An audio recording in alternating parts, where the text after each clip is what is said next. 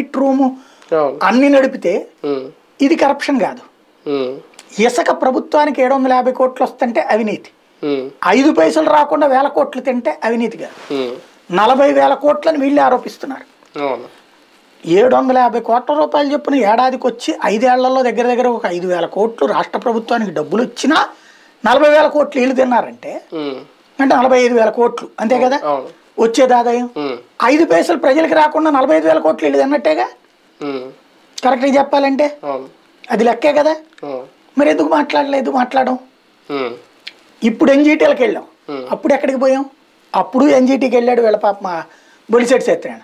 దానికే వంద కోట్ల పెనాల్టీ పడింది. కానీ ఎప్పుడు దాన్ని ఎందుకు నెత్తిన పెట్టుకోరు? ఎందుకు అడగరు?